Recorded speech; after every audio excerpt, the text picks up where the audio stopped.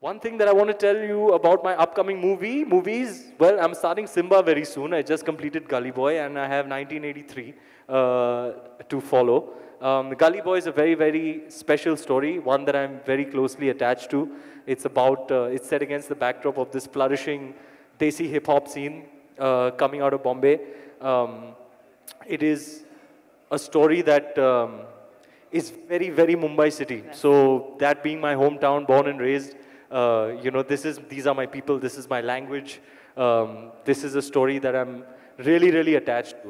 Uh, it's an underdog story about a kid who broke through from great adversity in life to break, make it as a recording artist.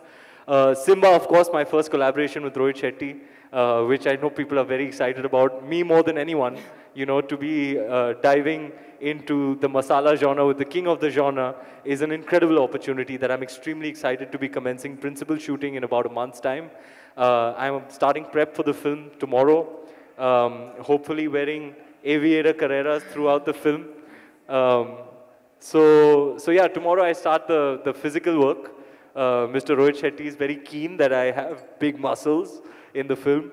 जब तू वर्दी पहनेगा ना तो वर्दी फटनी चाहिए ऐसे लगा so and he uh, he has he, he wants me to wear a pair of you know uh, aviators and, and, we are actually already in talks with Carrera for the same um, and uh, of course 1983 which is um, you know the story of the 1983 World Cup a significant event in our history uh, full bursting full of national pride and a very interesting story you know when it um, when Mr. Kabir Khan first came to me with the film, he said, we're making the film on 1983. I said, finally somebody is making that film. But when he told me the story, I realized what an insane underdog story it is. A bunch of ragtag underdogs that nobody believed in, that went on to, you know, fight against the odds, be brave, and had the ultimate triumph, you know.